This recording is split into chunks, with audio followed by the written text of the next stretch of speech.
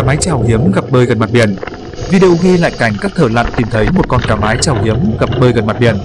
Một video được đăng trên Instagram cho thấy các thợ lặn tiến gần đến một con cá mái chèo hiếm gặp ở vùng biển gần đảo Đài Loan. Trong video, con cá có màu bạc lấp lánh và đang bơi gần mặt biển. Các thợ lặn cho biết con cá dài khoảng 2 mét và có một số lỗ kỳ lạ trên cơ thể. Theo tờ New York Post, cá mái chèo là loài cá có xương dài nhất. Kích thước tối đa của loài này có thể lên đến 17 mét. Việc cá mái chèo bơi lên gần mặt biển là điều hiếm gặp.